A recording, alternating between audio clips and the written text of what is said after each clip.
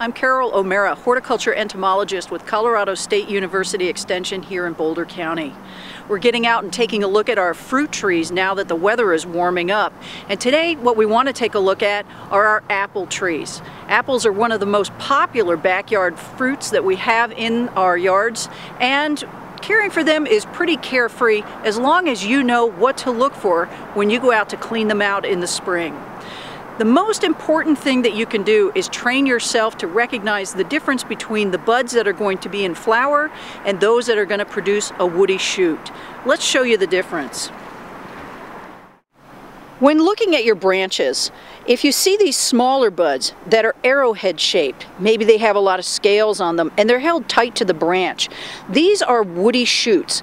All that's going to grow from this are new twigs and leaves to help the tree get larger and photosynthesize.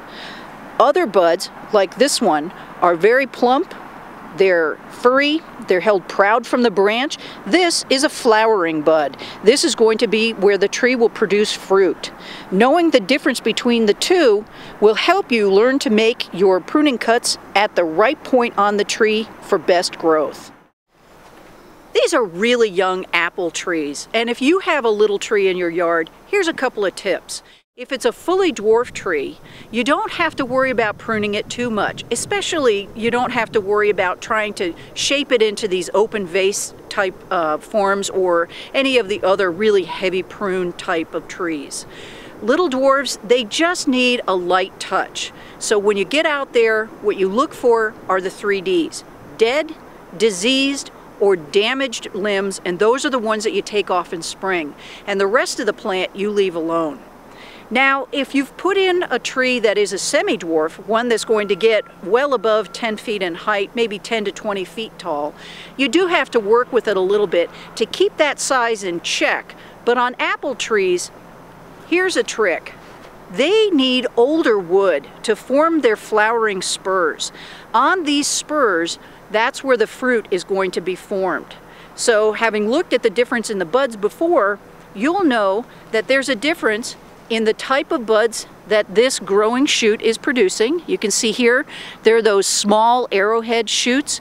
These are the ones that are all going to be devoted to growth of the tree, not worrying about flowering.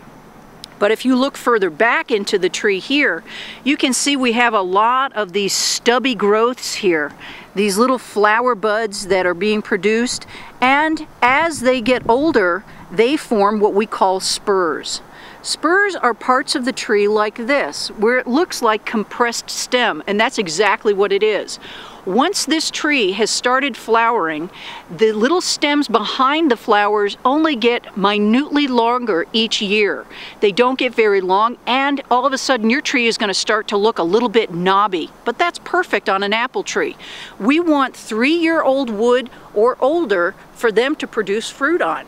So what we're doing is we're coming out on all of our trees and we're standing back and we're taking a look to see if we have any branches that need clipping off. As a reminder, the type of tools that you want to use on branches this size is going to be these bypass pruners. They're the ones where the blades come completely past one another for a clean cut. And as long as the twigs and the branches that we're working with are less than a half an inch in diameter, this is the ideal tool. Larger than this and we're going to have to break out the loppers.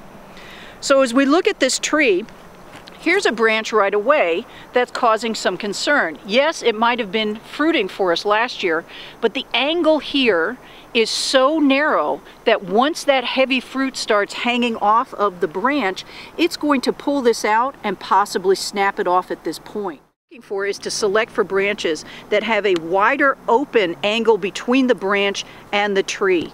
Ideally, we want it to be between 45 and 60 degrees. So we're going to take this little one off just outside the branch collar with a simple snip and there we have it.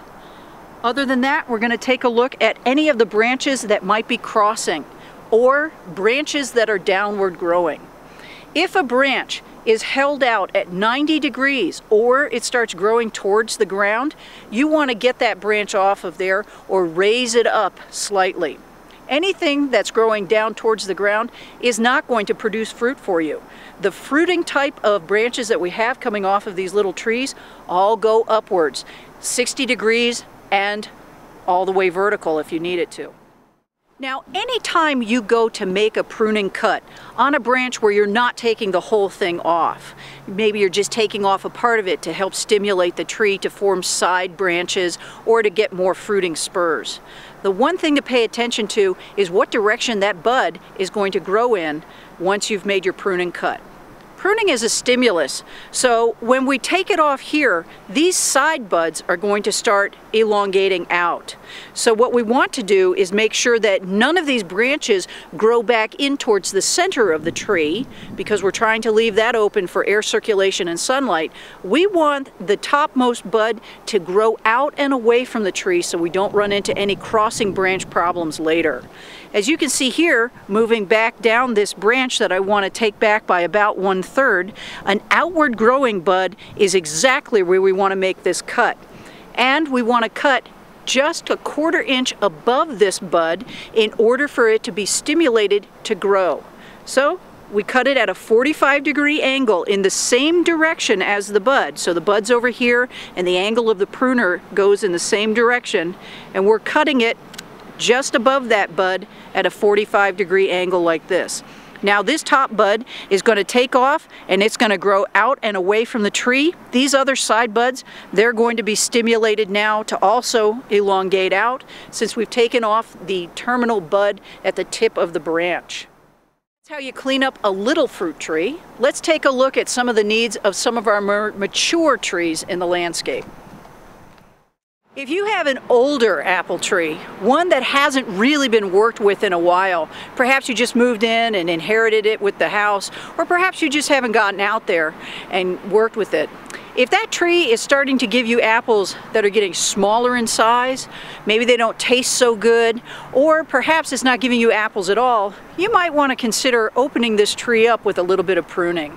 There are a couple of things to look at with an older apple tree, and the most important thing that you can do for your first step in a tree renovation is to take a look down at the base of the tree.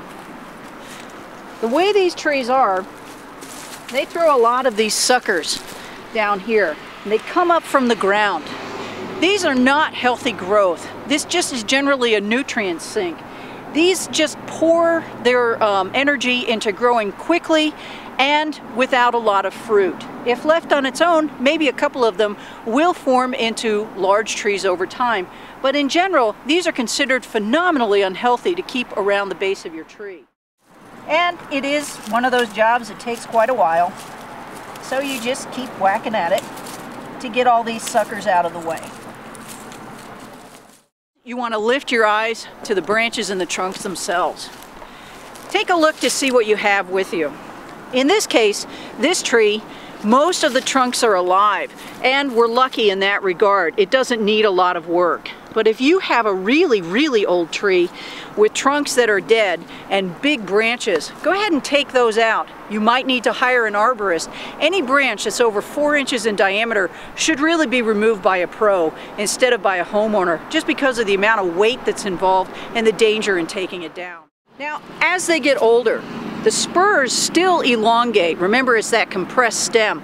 But every year they do get a little bit longer and a little bit longer. Eventually you're going to have systems like this one, where you have a series of a whole bunch of spurs, and they're all long, but they're all crowded tightly into one another. What this does is it means that the tree, when it's fruiting, has fruit that's too crowded together, and it can't size up properly, or insects really like to lay their eggs in that area. So what you want to do is you want to thin the spurs out a little bit. So you go back in here and you start looking at which spur could be shortened a little bit by cutting them off partly or you can take them all the way back. Tree, start looking at some of the branches if you were going to save the whole section here. Some of these in the middle are the ones that I would start working with to try and take out in that first season. Maybe one or two of the larger branches, no more, because again, I don't want to remove more than about 15 to 20% of this old tree. I'm Carol O'Meara, helping you garden.